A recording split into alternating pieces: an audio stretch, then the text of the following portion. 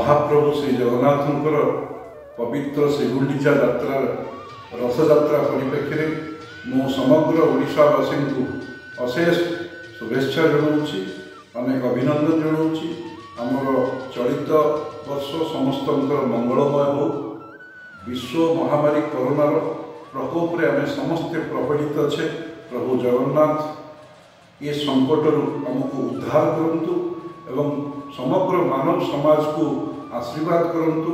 ଆମର ଚଳିତ ବର୍ଷ ଯେଉଁଭଳି ଭାବରେ ଆମେ ସଙ୍କଟରୁ ମୁକ୍ତି ପାଉ ଅନେକ ଦୁଃଖ ପରିତାପର ସମୟ ଦେଇ ଆମେ ଗତି କରୁଛେ ଯେଉଁଥିରେ କି ଅନେକ ପରିଜନ ଆମେ ହରାଇ ବସିଛେ।